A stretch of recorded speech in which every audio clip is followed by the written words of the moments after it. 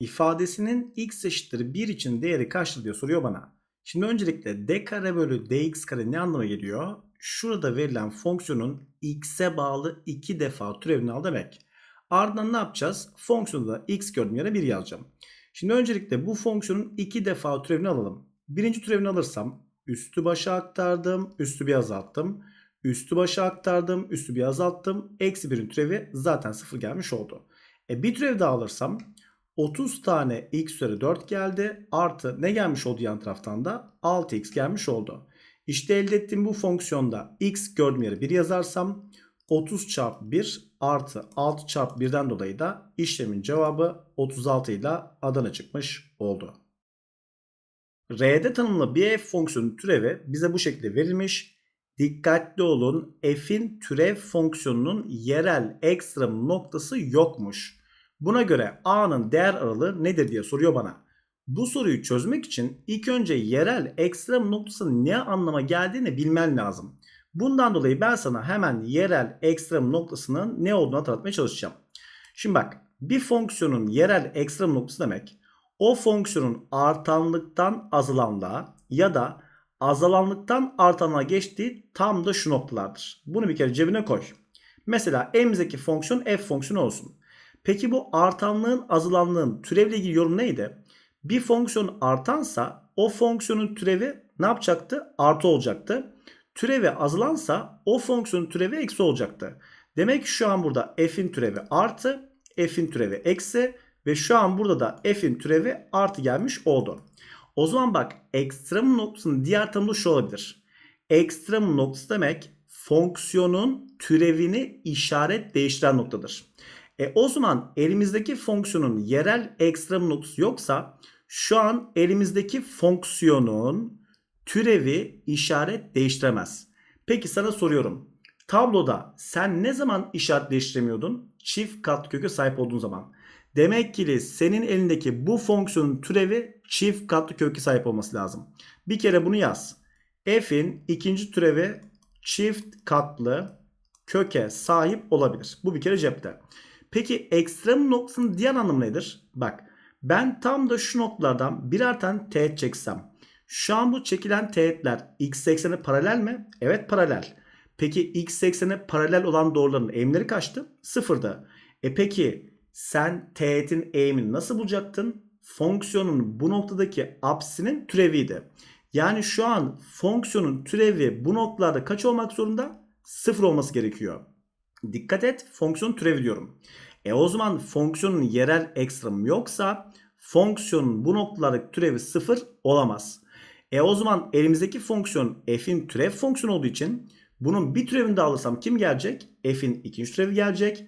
F'in ikinci türevini sıfır yapan bir değer yoktur. Peki fonksiyonu sıfır yapan değer o fonksiyon neydi? Köküydü. Demek ki buradan çıkan sonuç şu. F'in ikinci türevinin kökü yok. Bu bir kere cepte. Şimdi o zaman bu bilgiler ışığında hemen f'in ikinci türevini bulalım. Bak f'in birinci türevi zaten elimde. O zaman bir türev daha alırsam f'in ikinci türevi gelmiş oldu. Ne yaptım? Üstü başa attım. Üstü bir azalttım. 6x kare geldi. Üstü başa attım. Üstü bir azalttım. Eksi 4ax çıktı. Yandan da 24 gelmiş oldu. Şimdi bak elimizdeki fonksiyon nasıl bir fonksiyon? İkinci derecen bir fonksiyon. İkinci derecen bir fonksiyonun reel kökü yoksa ne olması gerekiyordu? Deltasının sıfırdan küçük olması gerekiyordu. Peki bu fonksiyonun çift kat kökü sahipse deltasının sıfır eşit olması lazımdı. Demek ki elimizdeki bu fonksiyonun deltası sıfırdan küçük veya eşit olması gerekiyor. E o zaman hemen delta hesabı yapalım. Delta neydi? b kare eksi 4ac idi. b'miz x'in önündeki katsayı karesine geldi. 16 a kare gelmiş oldu. Eksi 4 çarpı a'mız 6 geldi. c'miz 24 çıktı. Küçük eşittir 0 gelmiş oldu. Bak bunları komple sağ tarafa at. O zaman 16 a kare küçük eşittir. Ne gelmiş olacak? 4 çarpı 6 24 geldi. Sağdan 24 gelmiş oldu. Şöyle yapalım. 16'yı 8'e böldüm 2 kere var. 24'ü 8'e böldüm 3 kere var. 2'yi 2'ye böldüm 1 kere var. 24'ü 2'ye böldüm 12 kere var. E buradan da benim elimdeki a kare değeri küçük eşittir 36 geldi. A'yı bulmak istiyorsam iki tarafında karekökünü almak zorundayım. Karekökünü alırsam kareli kök gitti. Dışarıya mutlak değer çıktı. Sağdan da küçük eşittir 6 gelmiş oldu. Peki mutlak değer pozitif bir reel sayıdan küçükse ne yapacaktı? İçindeki ifade bir eksilisi bir de artırısı arasında açılacaktı. Bundan dolayı da A'nın değer aralığı Bursa gelmiş oldu. Elimizde bir adet çeyrek çember var ve bir köşesi bu çeyrek çember üzerinde olan bir tane dikdörtgen verilmiş. Bu dikdörtgenin alanın en büyük olması için teta ne olmalı diye soruyor bana. Bak sana bir söyleyeyim mi? Bu soruda kalem bile oynatmaman lazım. Elinde bir tane çember varken çemberin üzerinde eğer ki sen bir adet dikdörtgen alırsan ve bu dikdörtgenin alanın en büyüklerini alıyorsan bu dikdörtgenin ne olması lazımdı? Kare. E şu an elindeki dikdörtgen kare öyleyse sen karede bir adet köşegen çektiğin zaman köşegen ne yapıyordu? Bu açıyı 45-45 ayırmıyor muydu? O zaman teta'nın 45 olması gerekiyor. Bitti. Ya hocam tamam ben bunu hani böyle yaptım da peki normal soru çözerek nasıl yapacağız? Şunu sakın unutmuyorsun. Bir soruda en az, en fazla diyorsa bu soru kesinlikle yerel maksimum problemidir. Yani bir soruda en geçtiği anda bil ki o soru yerel maksimum problemidir. Peki biz bunu nasıl çözeceğiz? Soruda neye en fazla en az diyorsa ilk önce onu bir bilmeyen yazman lazım. Mesela şu an burada neye en büyük diyor? Alanın en büyük soruyor. O zaman ben burada ne yapacağım? Alanı bir bilmeyen yazacağım. Peki alanı bir bilmeyen yazdıktan sonra ne yapacağız? İşte burada bulduğun fonksiyona yerel maksimum minimum teoremini uygulayacaksın. Peki neydi bu teorem? Fonksiyonun türevini al. Sıfır eşitle bulduğun değeri al yerine yaz. O zaman elimizdeki dikdörtgene hemen bir birimine bağlı yazmaya çalışalım. Şimdi bunun için hatırlaman gereken bir şey var. Normalde merkezi A ile B, yarı çapı R birim olan çember denklemi neydi? X eksi A'nın karesi artı Y eksi B'nin karesi eşittir R kare ifadesiydi. E şu an elimdeki çemberin merkezi kim? Orijin yani 0'a 0. Yarıçap kaç birim? 5 birim. E ben bunları burada yerine yazarsam öyleyse çember denklemi x kare artı y kare eşittir 25 gelmiş olur. Yani y karede buradan kim gelmiş oldu? 25 eksi x kare geldi. Buradan da y değeri kim gelmiş oldu? 25 eksi x karenin karekök gelmiş oldu. Kim bu? Çember denklemi. Şimdi diyelim ki dikdörtgenin şu noktası A noktası olsun. E ben bu A'yı alsam, fonksiyonu yerine yazsam çıkan sonuç bana burasını vermeyecek mi? Verecek. O zaman A'yı aldım, fonksiyonu yerine yazdım. Çıkan sonuçta kim gelmiş oldu? Karekök içerisinde 25 eksi A karenin karekök gelmiş oldu. Dikkat et amacımız neydi? Alanı bulmaktı. E alan içinde kısa kenarla uzun kenarı çarpman gerekmiyor mu? Gerekiyor. O zaman elimizdeki alan fonksiyonu ne gelmiş oldu? A çarpı karekök içerisinde 25 eksi A kare gelmiş oldu. İşte benim fonksiyonum bu. Ne yapacağım bunun? Birinci türevini alacağım. Sıfır eşitleyeceğim. Bulduğum yerine yazacağım. İlk önce A'yı bir içeri aktar. Daha rahat türev alabiliriz. A'yı içeri aktarırsam bu durumda A içeriye A kare olarak girdi. O zaman burası 25 A kare. Sağ tarafta eksi A üzeri 4 olmuş oldu. İşte benim A'ya bağlı fonksiyonum bu. Peki şunu hatırlıyor musun? Elimizde elimizde karekök fx varken bunun türevini almanın bir yöntemi vardı. Nasıl alacaktık bunun türevini? İçinin türevini paydaya yaz bölü 2 çarpı fonksiyonun kendisini yaz.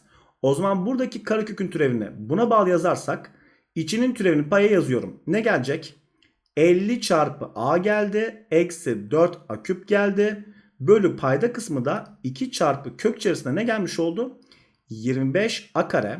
25 a kare. Eksi a üzeri 4 gelmiş oldu. E bu ifadenin sıfır eşit olması için payın sıfır olması gerekmiyor mu? Yani buradan ne gelmiş oldu kısaca? 50a eksi 4a küp sıfır eşit gelmiş oldu. 4a küpü kaç tarafı aktar? O zaman 50a değeri 4 tane a küp yaptı. a'mız sıfır olamayacağı için iki tarafı a'ya böldüm. Bu durumda dikkat et 50 eşittir 4 tane a kare geldi. İki tarafı 4'e bölersem a kare kaç gelmiş oldu? 50 bölü 4'ten 25 bölü 2 çıkmış oldu. E bir de ben bunun karekökünü aldığım zaman elimdeki a değeri negatif olamayacağı için ne gelmiş olacak? 5 bölü kök 2 gelmiş olacak. Bak bu değeri aldım şurada yerine yazıyorum. Yazarsam. Bir kere ben bu noktayı ne buldum? 5 bölü kök 2 buldum. E biz aynı zamanda a kare değeri ne bulmuştuk? 25 bölü 2 bulmuştuk. Onu da şurada yerine yazarsak kök içine ne gelmiş oldu? 25 eksi 25 bölü 2 geldi. Buradan da kökün içine çıkmış oldu? 25 bölü 2 çıkmış oldu. E kökü paya ve paydaya dağıtırsam burası da 5 bölü kök 2 gelmiş oldu.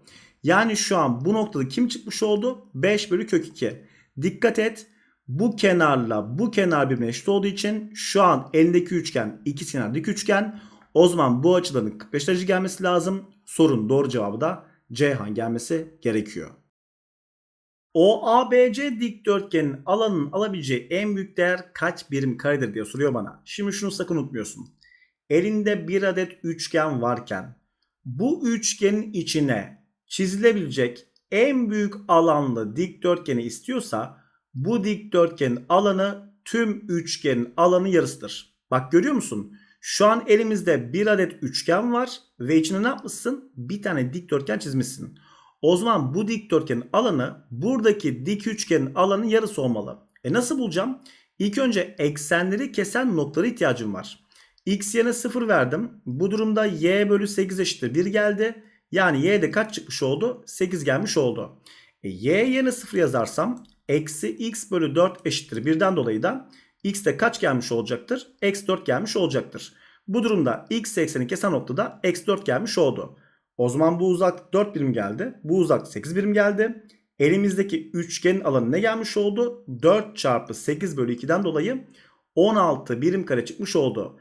E dikdörtgenin alanında üçgenin alanı yarısı olduğu için 16 bölü 2'den dikdörtgenin alanı 8 birim kare çıkmış olur. Balıkçı tanesini 200 liradan sattığı palamut balıklarından bir günde 200 tane satabiliyormuş. Bu balıkçı palamutun tane satış fiyatına yapmış olduğu her 20 liralık indirimde 50 tane daha fazla palamut satabilmektedir. Balıkçı en fazla gelir elde ettiği gün kaç palamut balığı satmıştır diye soruyor bana. Şimdi ben de sana soruyorum. Matematikte en fazla, en az, maksimum, minimum diyorsa bu tarz sorular ne sorularıydı? Ekstremum problemiydi. Peki bir ekstremum problemi nasıl çözülür? Sana soruda en fazla, en az neyi söylüyorsa bak istiyorsa demiyorum. Neyi söylüyorsa onu mutlaka bir bilmeyenle fonksiyon halinde yazman gerekiyor. Mesela bu soru ne diyor? En fazla gelir diyor. O zaman benim şu an burada geliri mutlaka bir bilmeyen yazmam gerekiyor. Peki bunu bir bilmeyen yazdıktan sonra ne yapacağız? Oradaki elde ettiğin fonksiyona maksimum minimum teoremini uygulayacaksın. Neydi peki o? Fonksiyonun türevini al. Sıfır eşitle bulduğun değeri al yerine yaz. Yani benim şu an burada elde etmem gereken şey gelir fonksiyonu. Peki şöyle düşün. Diyelim ki senin elinde atıyorum ki bir tanesinin satış fiyatı 20 lira olan bir ürün var ve sen bundan 30 tane satıyorsun. Elde ettiğin geliri bulmak için buradaki bir tanesinin satış fiyatıyla adeti çarpman gerekmiyor mu? Gerekiyor. O zaman soruya hemen başlayalım. Balıkçı tanesini 200 liradan sattığı palamut balıklarından bir günde 200 tane satabiliyormuş. Dur. Bak şimdi şurada fiyat diyelim. Şurada da adet diyelim. Şimdi sen bir tane palamudun fiyatının kaçta olduğunu biliyorsun. 200 TL olduğunu biliyorsun. Ve buna karşılık 200 tane sattığını biliyorsun. Bana diyor ki bu balıkçı palamutun tane satış fiyatına yapmış olduğu her 20 liralık indirimde 50 tane daha fazla palamut satabiliyor. Yani ben buna gidip de eğer ki bir tane 20 liralık indirim yaparsam adet ne olacak? Dikkat et bir tane 50 artacak. Aynı şekilde ben buna gitsem 2 tane 20 liralık indirim yapsam e o zaman adet ne olacak? 2 tane 50 artacak. Aynı şekilde ben buna gitsem 3 tane 20 liralık indirim yapsam bu ne olacak? 3 tane 50 adet artacak. Bak sakın gitti burasını 20, 40, 60 işte 50, 100, 150 şeklinde yazma bunu göremezsin. Peki sen şu an burada fiyattan kaç tane 20 lira azaltacağım biliyor musun? Bilmiyorsun. Şimdi bu mantıkta diyelim ki x tane 20 lira azaltalım. Bak dikkat ediyor musun? Bir tane 20 lira azalttın bir tane 50 arttı. 2 tane 20 azalttın 2 tane 50 arttı. 3 tane 20 azalttın 3 tane 50 arttı. E o zaman x tane 20 azaltıyorsam bunda ne olması lazım? X tane 50'nin artması lazım. Ve sen biliyorsun ki herhangi bir gelir fonksiyonu az önce burada söylediğim gibi nasıl bulunacaktı? Fiyatla adedi çarparak bulacaktık. O zaman ben fiyatla bu adedi çarparsam işte elde ettiğim gelir fonksiyonunu x'e bağlı bulmuş oldum. İşte bunu ne yapacağım? Birinci türevini alıp sıfır eşitleyeceğim. Buldum değeri yerine yazacağım. Elimizde çarpım şekli fonksiyon varsa biz türevi nasıl alacaktık? İlk önce sol tarafın türevini al. Sağ tarafı çarpım şekline yaz. Artı sağ tarafın türevini al. Sol tarafı çarpım şekline yaz. Sol tarafın türevini alırsam ne gelmiş oldu? Dikkatli ol. Eksi 20 geldi. Sağ tarafı aynen yazdım. 200 artı 50x gelmiş oldu. Artı sağ tarafın türevini al. 50 geldi. Çarpı sol tarafı aynen yaz. 200 eksi 20x gelmiş oldu. Ve türevini alıyorum. 0 eşliyorum. Buradaki eksi 20'yi içeriye dağıtmadan önce bak şurada görüyor musun? Bunların ikisine şu an onlar ortak. 10'a böldüm. 10'a böldüm. Sağ tarafta 10'a bölsem zaten 0 gelmiş olacak. Hemen bu eksi 2 içeri dağıt. Soldan eksi 400 geldi. Sağdan kaç gelmiş oldu? Eksi 100x gelmiş oldu. 5'i içeri dağıt. Soldan 1000 geldi. Sağdan da eksi 100x gelmiş oldu. Ve çıkan sonuç 0 eşit. E 1000'den 400 çıkartırsam burası kaç gelmiş oldu? 600 gelmiş oldu. Eksi 100x. Eksi 100x daha eksi 200x yaptı. Karşı tarafa aktardım. Artı 200x yaptı. İki tarafı da 200'e bölersem o zaman x değeri de 3 gelmiş oldu. Bizden ne istiyordu? Kaç palamut balığı satmıştı diye soruyordu. Bak dikkat et. Palamutların satışa dedi tam da burada. O zaman şurada x gördüğüm yere ben eğer ki 3 yazarsam 3 çarpı 50 kaç yaptı? 150 yaptı. 200 de eklersem sorun doğru cevabı 350 ile Denizli gelmiş oldu. A ve B pozitif reel sayılarmış. Çarpımları 9 eşitmiş. Toplamlarının alabileceği en küçük değer kaçtı diye soruyor bana. Matematikte en büyük değer, en küçük değer soruları neydi? Ekstremum problemiydi. Peki bir ekstremum problemi nasıl çözecektik? Bizden neyi en büyük veya en küçük olarak söylüyorsa onu bir bilmeyen yazacaktık. Mesela şu an bu soruda neyi en küçük diyor? Toplamın en küçük diyor. O zaman sen şu anda buradaki A artı B'yi bir bilinmeyen yazmak zorundasın. Peki bir bilinmeyen yazdıktan sonra ne yapacaktık? Maksimum minimum teoremini uygulayarak sonuca gideceğiz. Peki neydi o teorem? Birinci türevini al. Sıfır eşitle bulduğun değeri al yerine yaz. İlk önce olayımız şu. Elimizdeki A artı B'yi bir bilmeyen yazacağız. Bak elimizdeki bu eşitlikte ben burada eğer ki iki tarafı da A'ya bölersem A'ya böldüğüm takdirde B ifadesi kim gelmiş oldu? 9 bölü A geldi. E ben bunu da aşağıda yerine yazarsam o zaman buradan A artı 9 bölü A çıktı. İşte şu an elde ettiğim ifadeyi ne yaptım? Bir bilmeyen yazmış oldum. Buna ne diyorum? A'ya bağlı bir fonksiyon diyorum. O zaman hemen bu fonksiyonun türevini al sıfıra eşitle. A'nın türevini alırsam 1 geldi. Peki ben 9 bölü A'nın türevini nasıl alacağım? Bak dikkatli ol. Sen 9 bölü A'yı 9 çarpı 1 bölü A şeklinde yazabilir misin? Yazabilirsin. Peki aynı zamanda ben 1 bölü A'yı A üzeri eksi 1 olarak yazabilir miyim? Yazabilirim. Yani ben bunu 9 çarpı A üzeri eksi 1 şeklinde yazdım. E türev alırken ne yapacaktık? Üstü başa at, üstü bir azalt. Bundan dolayı da eksi 9 çarpı A üzeri eksi 2 gelmiş oldu. E bu da ne yapar? Eksi 9 bölü A kare yapmış olur. Yani kısaca ben buradan ne anlıyorum? Yan tarafın türevi ne gelmiş oldu? Eksi 9 bölü A kare gelmiş oldu. Çıkan sonucu da 0 eşitliyorum. Bunu aldım sağ tarafı gönderdim. 1 eşittir 9 bölü A kare geldi. İçler dışlardan ben A karenin 9 olduğunu biliyorum. E bu durumda A değeri de ya 3 gelecek ya da eksi 3 gelmiş olacak. Biz zaten A'nın pozitif olduğunu biliyoruz ya. O yüzden A'nın negatif değerini alamayız. E aynı zamanda B değeri de 9 bölü A'ya eşit olduğu için ben burada A gördüğüm yere 3 yazsam sonuç 3 gelmiş olmayacak mı? Olacak. Öyleyse A değeri 3 geldi. B değeri 3 çıktı. X'ini toplarsam cevap 6 gelmiş oldu. Bize D doğrusunun grafiği gösterilmiş. D doğrusu üzerinde bir tane A noktası verilmiş. A noktasının koordinatları çarpımının en büyük değeri nedir diye soruyor bana. En büyük, en küçük soruları matematikte hangi sorulardı? Ekstremum problemiydi. Peki biz bu tarz soruları nasıl çözecektik? Bize neyi en büyük veya en küçük olarak söylüyorsa mutlaka onu bir bilmeyen yazmam gerekiyordu. Mesela burada neyi söylüyor?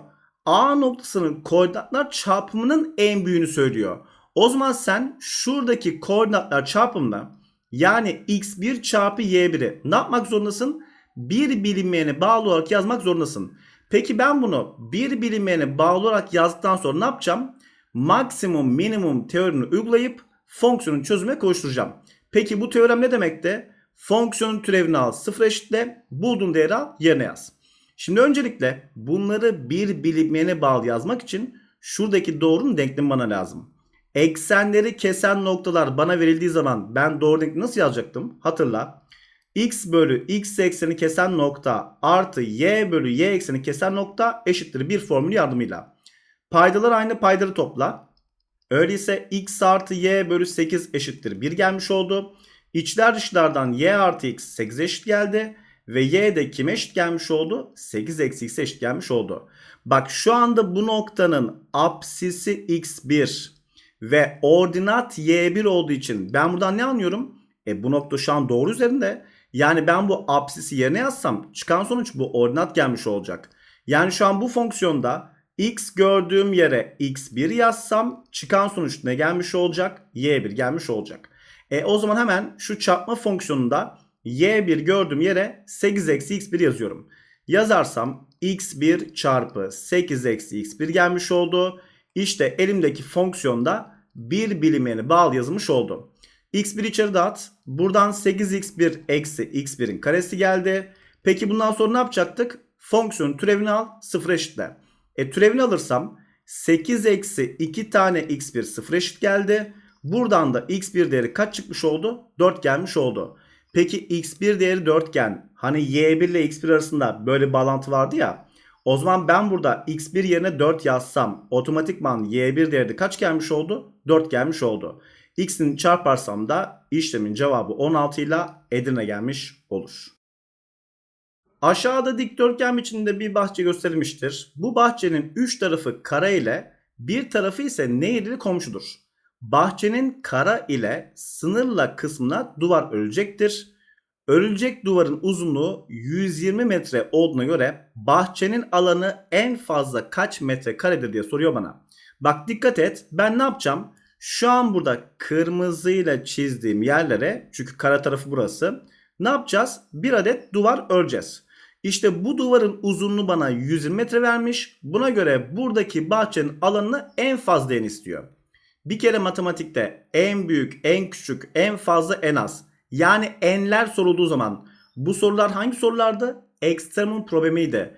Ekstremum problemi için hatırla sana neyi en fazla diyorsa onu bir bilmeyen yazmayacak mıydık? Şu an neyi en fazla diyor? Bahçenin alanı en fazla diyor.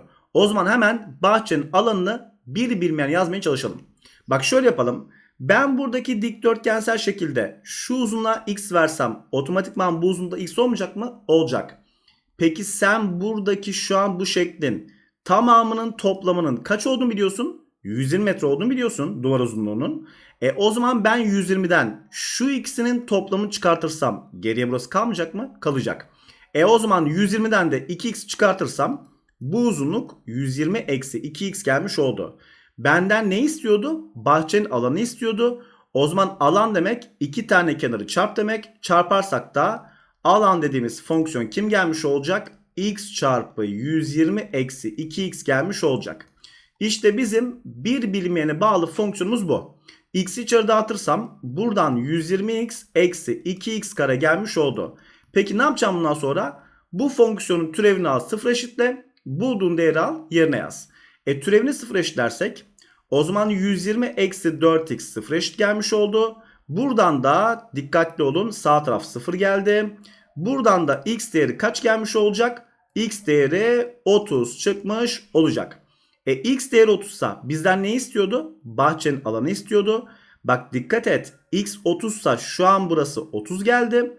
Bundan sonra x 30 sa şurası da 30 çıktığı için burasının tamamı kaç gelmiş oldu? 60 gelmiş oldu. O zaman bahçenin alanında kısa kenarla uzun kenarı çarparsam 30 çarpı 60'tan dolayı 1800 metrekare ile Edirne gelmiş oldu. İfadesinin en büyük değeri kaçtır diye soruyor bana. Elimizdeki bir kesrin en büyük değeri için paydasının olabildiğince küçük olması gerekmiyor mu? Gerekiyor. Aslında şu an buradaki soru şu. x kare eksi 4x artı 10'un alabileceği en küçük değer kaç? Elimizde bir fonksiyon varken ben 10 alabileceği en küçük değeri nasıl bulacaktım? Yerel maksimum minimum teoremi uygulayarak. Ne demekti bu? Fonksiyon türevini al sıfır eşitle. Bulduğun değeri al yerine yaz. O zaman fonksiyon türevini sıfır eşitlersek 2x eksi 4 değeri sıfır gelmiş oldu. Buradan da x değeri kaç çıktı? 2. E bulduğum değeri fonksiyon yerine yazarsam bu durumda 2'nin karesi 4 eksi 8 artı 10 gelmiş oldu. 14'ten de 8 çıkarsa bunun en küçük değeri 6 çıkmış oldu. E paydanın da en küçük değeri 6 iken o zaman buradaki ifadenin en büyük değeri 1 gelmiş oldu. Bu arada sana bir şey daha sormak istiyorum. Elimizdeki bu fonksiyon kim? Parabol. Parabolün kolları yukarı doğruyken parabol alabileceği en küçük değeri nerede alacaktı? Tepe noktasının K'sında. Yani sen şu an bu soruda K'yı da bularak her zaman çözüme gidebilirsin. Haberin olsun. Aşağıda BC kenarının uzunluğu 12 santim olan bir üçgen gösterilmiştir. Üçgenin BC kenarının üzerinde bir P noktası alınmış. Buna göre buradaki ifadenin en küçük olması için P'nin C'ye olan uzaklığı kaç santim olmalıdır diye soruyor bana. Ben de sana soruyorum. Herhangi bir soruda en küçük değer soruluyorsa o soru neydi? Ekstremum problemiydi. Peki soruyu nasıl çözecektik? Sana neyin en küçük olmasını istiyorsa onu bir bilinmeyen yazmak zorundasın. Şu an neyin en küçük olmasını istiyor? Bunun. O zaman bu ifadeyi bir bilmeyen yazarak ne yapacağız? Fonksiyon elimize alacağız. Peki fonksiyonu eline aldıktan sonra ne yapacaktın? Türevini al. Sıfır eşitle bulduğun değeri al yerine yaz. Şimdi ilk önce şöyle yapalım. Şu A noktasından bir adet doğru çekiyorum ve varsayıyorum ki P noktası burası olsun. Şimdi P noktası burası iken ben bu uzaklığın ne olduğunu bilmiyorum ya. Diyelim ki burası X olsun. E o zaman bunun tamamı 12 iken geriye de 12 eksi X kalmadı mı? Kaldı. Bak bu durumda BP uzunluğu X geldi. Hemen şurada yerine yazdım. Burası 2 tane X'in karesi gelmiş oldu. Sağ tarafta PC uzunluğu 12 eksi X geldi. Onu da yerine yazarsak 12 eksi X'in de parantez karesi gelmiş oldu. İşte bu şu anda benim elde ettiğim fonksiyon. Türevini al sıfır eşitle bulduğun değeri al kullan. O zaman türevini sıfır eşitlersek bunun türevine gelmiş olacak 4x gelmiş olacak. Elimizde üstel fonksiyon varken türevi nasıl alacaktık? Üstü başa at. Üstü bir azalt çarpı bir de içerideki fonksiyonun türevini almak zorundasın. 12 eksi x'in türevi ne? Eksi 1. Bundan dolayı bu ifade sıfır eşit olmuş oldu. Bak şöyle yapalım. Ben burada eksi 1 ile 2'yi çarparsam eksi 2 geldi. Eksi 2'yi içeri dağıtıyorum. Soldan 4x sağdan eksi 24 artı 2x geldi. Ve çıkan sonuç 0 gelmiş oldu. E bu durumda 6x eksi 24 sıfırsa 6x değeri de 24'e eşit geldi. Yani x değeri kaç çıkmış oldu? 4 gelmiş oldu. Bizden ne istiyordu? P'nin C'ye olan uzaklığını istiyordu. E P'nin C'ye olan uzaklığında ben burada x gördüğüm yere 4 yazarsam çıkan sonuçta kaç gelmiş olur? 8 ile Ceyhan çıkmış olur. F fonksiyonunun 2'ye k noktasındaki teğetinin denklemize verilmiş. Bir adet gx fonksiyonu verilmiş. Ve diyor ki gx fonksiyonuna x eşittir 2 absisli noktasından çizilen teğetin eğimi soruluyor. Hatırla teğetin eğimi ben nasıl bulacaktım? Tam da bu teğet olduğu noktanın apsisindeki türev bana teğet eğimi vermeyecek miydi? Verecekti. Demek ki aslında g'nin türevi 2 bana bu teğetin eğimini vermiş olacak. Yani benden bunu istiyor. E bunun için ne yapmam lazım? Elimdeki şu fonksiyonun türevini almam gerekmiyor mu? Gerekiyor. Hemen türev alalım. Bak dikkat et elimizdeki fonksiyon şu an çarpma fonksiyonu. Sen çarpmanın türevi nasıl alacaktın? Önce sol taraftaki fonksiyonun türevi. Hemen alıyorum. X'in türevi 1 geldi. Sağ tarafı aynen yaz. Artı sağ taraftaki fonksiyon türevi. Peki f kare x'in türevi nasıl alınır? Üstel fonksiyon türevi bu. İlk önce üstü başa at. Üstü bir azalt. Bir de sakın unutma tabandaki fonksiyon türevini almak zorundasın. F türev x geldi. Şu an ne yaptım? Sağdaki fonksiyon türevini aldım. Çarpı soldaki fonksiyon gelmiş oldu. E x gördüğün her yere 2 yaz. Öyleyse g'nin türevi 2 ne çıkmış oldu? f kare 2 geldi. Artı x yerine 2 yazarsam 2 çarpı 2'den dolayı 4 çarpı f 2 çarpı f'in türevi 2 gelmiş oldu. Tamam ben bunu bulursam sonuç gelmiş olacak. Bir de bak yukarıda bir adet bilgi var. Bilgi ne? f fonksiyonunun 2'ye k noktasındaki teğetinin denklemi buymuş. İlk önce şu teğet denklemini düzenle. Eksi y'yi bir sağ tarafı gönder. E, o zaman elimizdeki y ifadesi kim gelmiş oldu? 2x artı 2k gelmiş oldu. Şimdi şöyle düşün. Elimizde diyelim ki şöyle bir tane fx fonksiyonu var. Ve diyelim ki tam da bu nokta 2'ye k noktası. İşte bu noktadaki teğet doğrusu kimmiş? y eşittir 2x artı 2k'ymış. E şimdi şöyle düşün. Buradaki 2'ye k noktası hem fonksiyon hem de doğru üzerinde değil mi? O zaman bu noktanın doğruyu sağlaması lazım.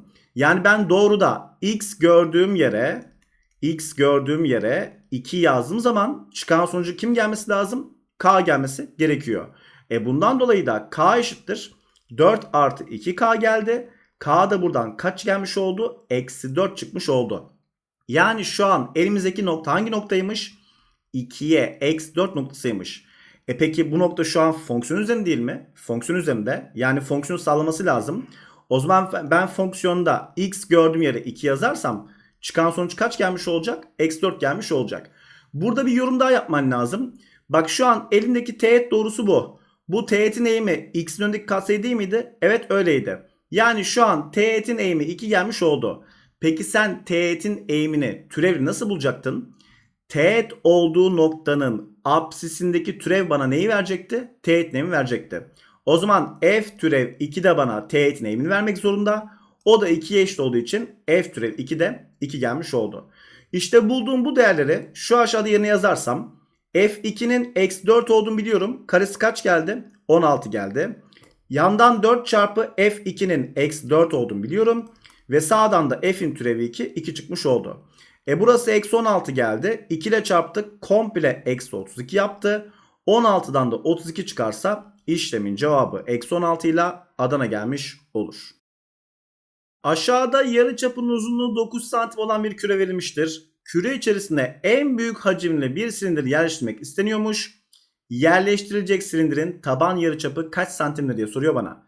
Şimdi bak elimizde ne var? Küre içerisinde en büyük hacimli silindir var. O zaman biz bu silindiri çizmeye çalışalım. Şimdi silindirin en büyük hacimli olması için tam da şuradaki noktalardan geçmesi gerekmiyor mu? Evet gerekiyor. O zaman şuradaki uç noktaları ne yapıyorum? Şöyle birleştirilerek en büyük hacimli silindiri elde etmeye çalışıyorum. Sen silindirde alt tarafta ve üst tarafta ne olduğunu biliyorsun. Birer tane şöyle daire olduğunu biliyorsun. Bunları hemen çizdim. Şu dairenin de arka tarafını şöyle çizmiş oldum. Tamam. Şimdi altta ve üstte birer tane daire varsa e bu dairelerin birer tane yarıçapı yok mu? Var. Ben gittim bu yarıçapa R1 verdim ve benden silindirin taban yarıçapını istiyorsa artık kim istiyor benden? R1 istiyor. Bak dikkatli ol. Ben şimdi tam da şu noktayı şu noktaya bağlarsam silindirin neyini çekmiş oldum? Yüksekliğini çekmiş oldum. E, yükseklik dik inen doğru olduğu için şuraların 90 derece inmesi gerekiyor. Ve ayrıca sen silindirde şu iki mesafenin eşit olduğunu biliyor musun? Evet biliyorsun. Yani ben buraya h versem otomatikman burası h oldu. Silindirin yüksekliğine dikkat et. 2h gelmiş oldu. Şimdi bir kere bir soruda en büyük, en küçük, en az, en fazla geçiyorsa o soru ne sorusuydu? Ekstremum problemiydi. Peki ben bunu nasıl çözecektim? Bize en büyük neyi söylüyorsa onu mutlaka bir bilinmeyen yazmam lazım. Neyi söylüyor? En büyük hacimli silindir diyor. O zaman sen şu anda bu silindirin hacmini bir bilinmeyeni yazmak zorundasın. Normalde silindirin hacim formülü neydi? Hatırla. Pi çarpı taban yarıçapının karesi çarpı yüksekliği eşitti. İşte buradaki hacmi ne yapacağım? Bir bilmeyeni yazacağım. Peki bunu nasıl yapacağım? Bak ben buradaki merkezde şuradaki yayı birbirine bağlasam. Burası şu an yarıçap olmadı mı? Oldu. O zaman şuradaki dik üçgenden bir adet Pisagor yaparsak. R1'in karesi artı H'ın karesi kime eşit gelmiş oldu? 81 eşit geldi. H kareyi ben böyle sağ tarafa atarsam. R1'in karesi kime eşit gelmiş oldu? 81 eksi H kare eşit geldi. O zaman bu değeri hacim değerine yazıyorum. Soldan pi geldi. Ortadan 81 eksi h kare geldi. Dikkatli ol. Sağdan da 2h gelmiş oldu. Şu 2'yi pi'nin yanına atarsak burası 2 pi yaptı.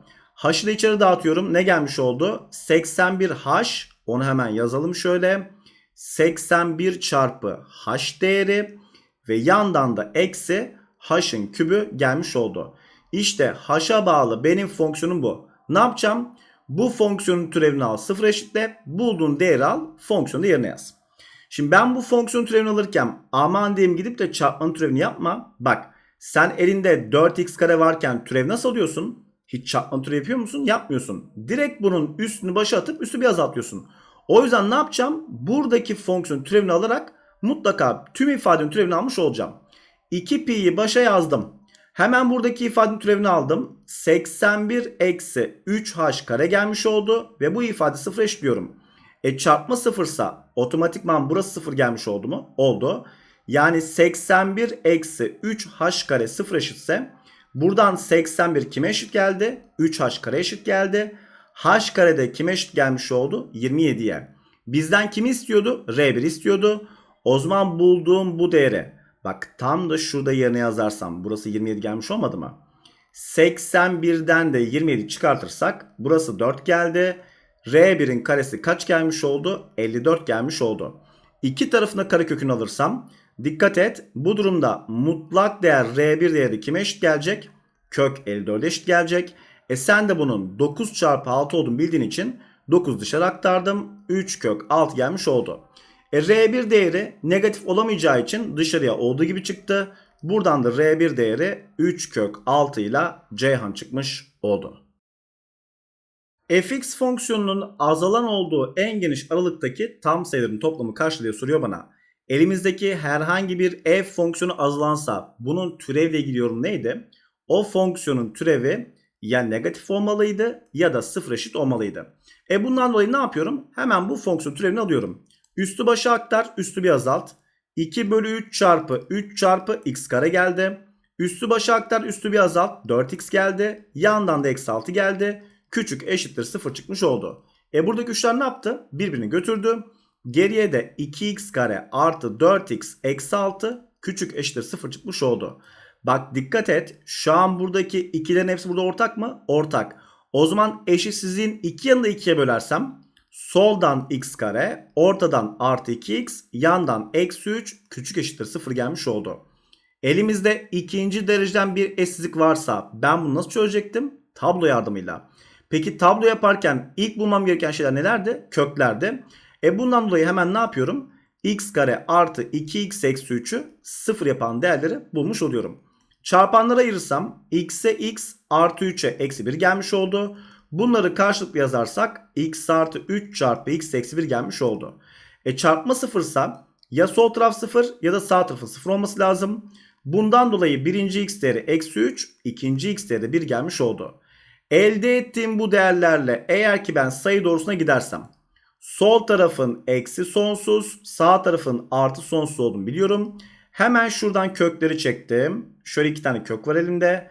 Birinci kökün ne olduğunu biliyorum. Eksi 3 olduğunu biliyorum. İkinci kökün de 1 olduğunu biliyorum. Bu köklerden birer tane olduğu için bunlar tek kat kök ve eşitlik olduğu için içlerinin dikkat et dolu olması gerekiyor. E tabloda işareti başlarken elimde polinom fonksiyonu varsa neyi kontrol edecektim? Baş katsayıyı. Şu an baş katsayı artı 1 olduğu için tablonun en sağından artı ile başlıyorum. Tek kat kök eksi tek kat kök artı. E benden eksileri istiyorsa o zaman tabloda şu eksileri taradım. Cevapta eksi 3 ile 1 aralığındaki tam sayılar gelmiş oldu. Bunlar da eksi 3, eksi 2, eksi 1, 0, 1 geldi. Birler birbirini götürdü. Toplamda eksi 5 ile Adana çıkmış oldu.